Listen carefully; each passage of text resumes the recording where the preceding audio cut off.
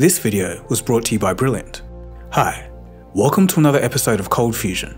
Center Alaska, uh, trouble declare an emergency. We're descending down to 10,000. 50 pressurized. Yes, we are emergency. We are depressurized. We do need to return back to. We have 177 passengers. Fuel is 18.8. That was an exchange between the pilot of Alaska Airlines Flight 1282 as the door of the Boeing 737 flew off the aircraft mid flight. An emergency landing was declared. Imagine being a passenger on that plane as it happened. For 117 passengers on board that flight, that was their reality. It was extremely fortunate that there were no injuries or casualties after such an event. For most travellers, boarding a plane is an inherent act of trust. Instinctively, we rely on the industry's expertise and competency. However, Boeing's most recent scandal with Alaska Airlines has shaken this very foundation of trust. But this incident is one of only many that has rocked Boeing in recent years. In this episode, we dive into Boeing's track record of failures and mismanagement and try to answer one critical question Is there more to blame than Boeing? From the temptation of Wall Street profits to the pitfalls of American corporate governance, this case has consequences extending far beyond boardrooms and into the future of air travel. To give more insight into the situation, I interviewed Petter from the YouTube channel Mentour Pilot, who has been a commercial pilot for over 20 years. Without further ado, let's get into it. You are watching Cold Fusion TV.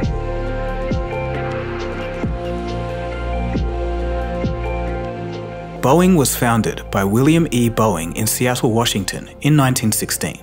It quickly became a trailblazer in innovation and engineering.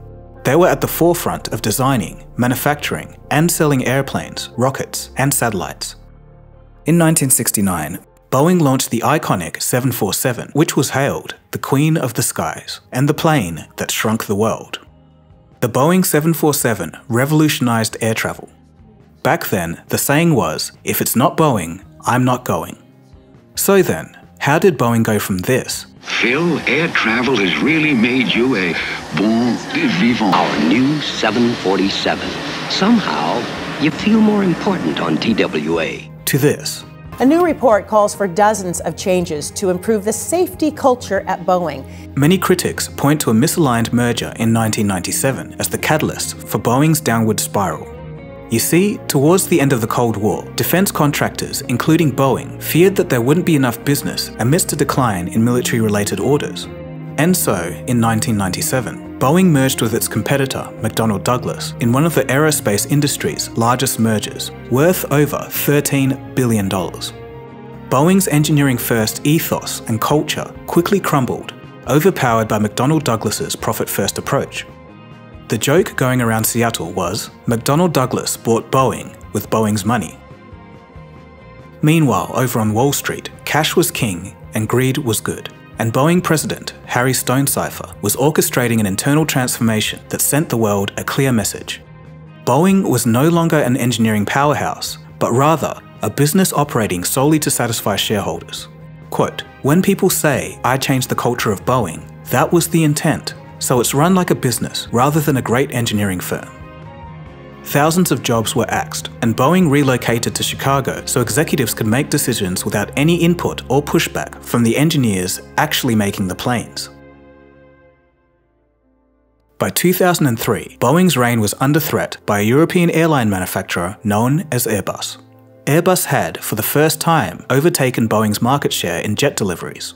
Then, in December 2010, Airbus caught Boeing off guard by launching the A320neo. It was powered by a fuel efficient engine and sold a record breaking 667 planes in under a week.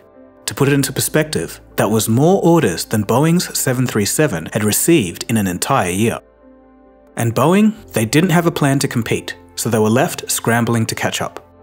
And what happened next wasn't just a struggle for market dominance, but can be directly tied to the loss of 346 lives. It's considered to be one of the most tragic and costly disasters in corporate history. We'll recap the deadly events of 2019 as context for evaluating their recent scandals, such as the Alaska airline incident.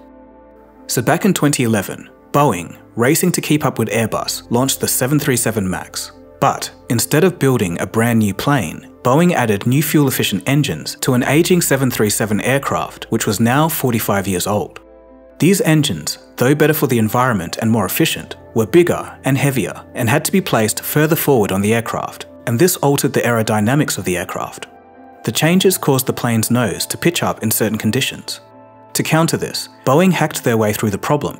They introduced the Maneuvering Characteristics Augmentation System, or MCAS. It was meant to be a flight stabilizing software that adjusted the flight controls to prevent stalls automatically. But the thing is, Boeing barely told anyone, even the pilots. Instead of talking to pilots and how can we fix this, engineers thought, ah, we can sneak in a little system. Pilots don't need to know about it. It'll handle this little business where pilots are not going to be flying anyway. And here is where things started to go very, very wrong for Boeing.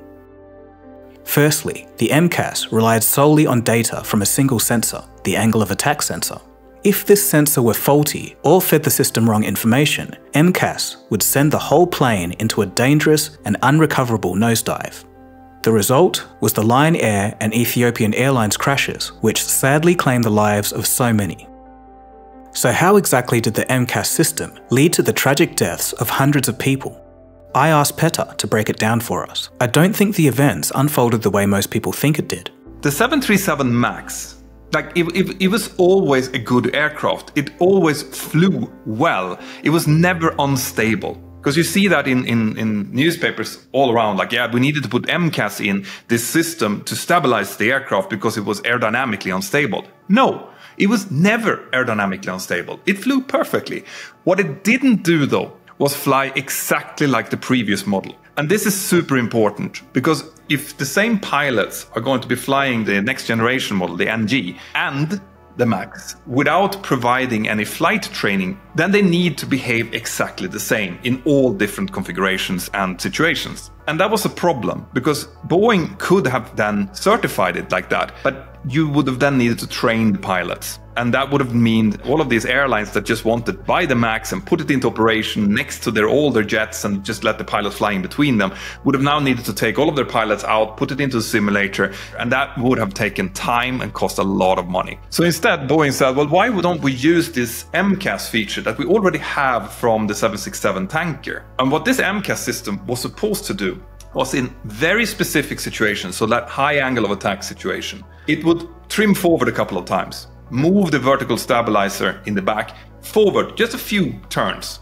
so that you would get that same feeling. That's all that MCAS was supposed to do. But something crept into the system where the MCAS system would trim forward more than what was thought that it would do. And not only that, every time that the, the pilots would reset by trimming themselves, the, the uh, system would trim again right? It would reset itself and retrim and reset itself and retrim.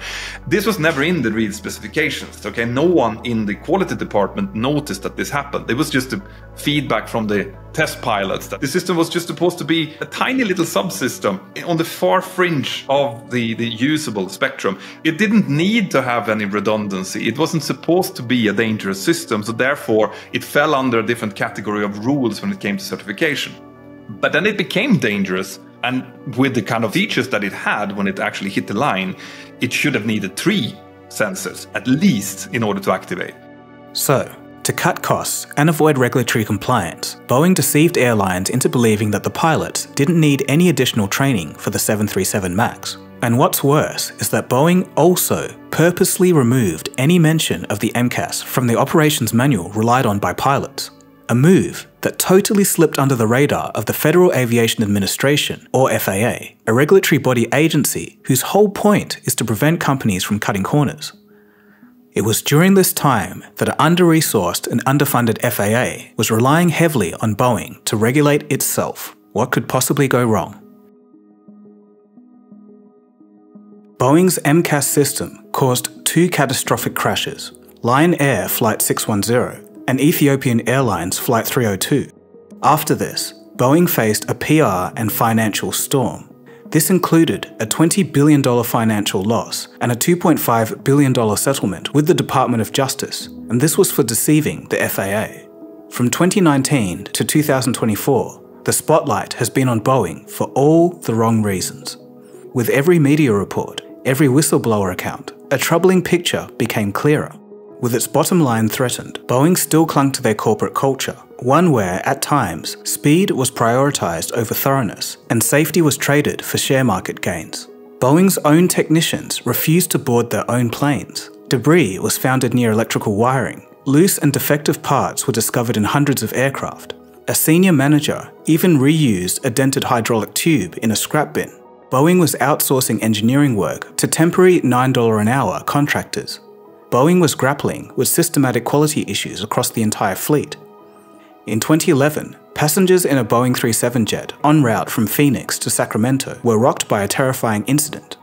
The last thing you want to see when you are in a plane at 36,000 feet the sky through the roof of the plane. A five foot hole suddenly ripped open its roof mid flight. The incident was blamed on, quote, extremely poor manufacturing technique. In 2015, an FAA auditor in Japan found a Boeing subcontractor had been falsely certifying cargo door certifications for hundreds of 777 aircraft for years. In 2021, a damaged fan broke off a Boeing 777 engine shortly after takeoff from Denver. As soon as I open the door, I go, oh, that's the front engine of a plane. And then, of course, on January 5th, 2024, just 20 minutes into Alaska Airlines Flight 1282, and at 16,000 feet above the ground, another disaster struck. A panel, serving as a door plug to replace a removed emergency exit, flew off its hinges, leaving a gaping hole in the plane. Here's what happened. This fuselage came in to Boeing from a facility in Wichita, Kansas on a train. There was a problem with rivets that were located near this door plug. In order to fix that problem, they had to take the door plug out. Well, once they fixed the problem, they put the door plug back in, but they forgot to put the bolts back in. Plugging emergency exits is a pretty common practice by airlines. Each emergency exit requires maintenance and inspection costs. So if airlines want to seat fewer people and offer more legroom, Federal laws greenlight sealing off any additional emergency exits. In the case of Alaska Airlines Flight 1282, however, an investigation by the National Transportation Safety Board, or NTSB, revealed that four crucial bolts meant to secure the door plug to the Boeing 737 MAX 9 were missing. Had the plane been any higher, the pressure change could have sucked passengers out of the aircraft if they weren't strapped down. And this exact scenario has happened before. The airline now says that as many as 16 people are missing after disaster struck Flight 811 from Hawaii to Auckland. In 1989, United Airlines Flight 811 turned into a nightmare when at 22,000 feet, a door burst open. The explosive decompression sucked nine passengers out of the aircraft, just one year earlier, Aloha Airlines Flight 243 suffered a similar fate when, at a normal altitude of 24,000 feet, part of the fuselage ripped open mid-air due to wear and tear. A flight attendant was ejected and 65 passengers were injured. Now back to 2024. The following week after the Alaska Airlines debacle, Boeing's stock plunged by nearly 10%. While Bank of America stood by its recommendation to buy Boeing shares, it issued the following statement. Quote, we do not expect this current issue to have a material impact to our 2024 financial forecast. We do see the latest incident as eroding the fragile confidence that has been built around the 737 MAX franchise. In our view, Boeing needs to tread carefully and cautiously through this potential reputation minefield. So what else can we learn from Boeing's story? Perhaps we should examine how Boeing became the spoilt child of United States manufacturing, cushioned by its close ties to regulators and politicians, and supported by tax breaks and tariffs. Boeing has a history of using their deep pockets to dial back safety standards, lobby decision makers, and corner the American market. Together with its parts supplier, Spirit Aerosystems, Boeing has invested more than $65 million into lobbying and also campaign contributions over the last four years. The result? Fast tracked aircraft production and an impressive show for shareholders. Before the 2019 crashes, Boeing played a role in crafting a bill that weakened the government's ability to approve new aeroplane designs. And then, Senator Jerry Moran, as top recipient of Spirit Aerosystems lobbying dollars, pushed the FAA to do everything necessary to get the 737 MAX back in the skies. Senator Maria Cantwell, who received nearly $200,000 in Boeing donations, also helped Boeing bypass a critical deadline for their 737 MAX alerting systems. In 2022, Boeing moved its headquarters to Washington, D.C. to ramp up its lobbying game. With Boeing under the microscope, there's a big question looming. Can they rise back to the top of excellence and regain trust, not just from the public and airlines, but also from themselves? After all, Boeing CEO Dave Calhoun has even urged 737 customers to conduct their own additional reviews. He's also expressed full support for the FAA's intensified investigation, audit, and oversight measures. Quote, this added scrutiny from ourselves, from our regulator, and from the customers will make us better. It's that simple. So, what steps must Boeing take to regain trust and move forward? Is their incompetence and toxic corporate culture solely responsible? Or should we be examining systematic flaws within the entire aviation industry? Do passengers need to start questioning their trust in the planes, pilots, FAA, and government? I'll bring in Petter from Mentour Pilot with his thoughts on that. Could you briefly touch on a few checks and balances that are in place to ensure that air travel is, is safe? Yeah, so the, the, the, absolutely most important system that is available to make um, air travel safety, it's the way that anyone can report a problem or a mistake that they've made without feeling that they're risking to lose their jobs. So if I make a mistake and it's an honest mistake and I report it, which I should do, then what's going to happen is that the airline is going to look into it. They're going to see why it happened and they're going to potentially give me some extra training if I if it's needed. But if it's a systemic fault, they're going to try to fix that. So they're looking for the core root of the problem. They're not looking for someone to blame. This is super important because what happens then is that everyone knows about this, everyone reports it, so we are constantly getting better and safer. That safety culture, that open and non punitive culture, is the most important thing that keeps aviation safe. On top of that, you have very stringent certification requirements for anything that has to do with aviation, aircraft, aircrew, down to the bolts and nuts that are being used inside of the aircraft. It has to be shown to be safe in every conceivable situation before anything new is being let out. Th- those two things together create an extremely safe environment. Nothing new happens unless we know that it works, basically. I think Petter is right. Reducing the amount of fear in voicing concerns is such an important process for something as precision critical as the aviation industry. Unfortunately, recent reports from February 2024 have highlighted that Boeing's employees don't feel as safe as they should be while reporting incidents. A new report calls for dozens of changes to improve the safety culture at Boeing. It was ordered before the door plug blowout, but mentions the incident. Joyce, bottom line, it says Boeing must do more to make workers feel comfortable about speaking up on safety issues without fear of retaliation. The company says it's been working on ways to do that even before the release of this report. The report released Monday found a quote disconnect between senior management and some employees, a lack of clarity on safety procedures at different manufacturing plants, and concerns about whether speaking up could lead to retaliation, impacting workers' salaries or company standing. This really was not a surprise for me because I expected even before the latest incident that uh, that there had been a substantial slippage in, in terms of the way Boeing used to be, which was an engineering company of great quality that made money, to one that made money by engineering. But looking more holistically, we can't force all the blame onto Boeing.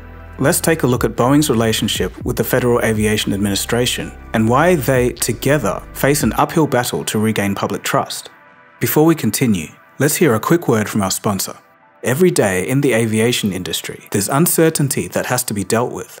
Understanding how probability works is essential to keeping operations running smoothly.